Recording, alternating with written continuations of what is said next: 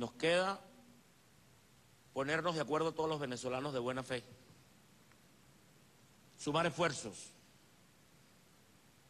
organizados por motores de la economía, para unir esfuerzos gobierno y el sector productivo. Y para eso hemos organizado los sectores, primero, un llamado hecho por el presidente a distintos sectores para conformar un ente que nos una a todos nacionalmente y pueda señalar los caminos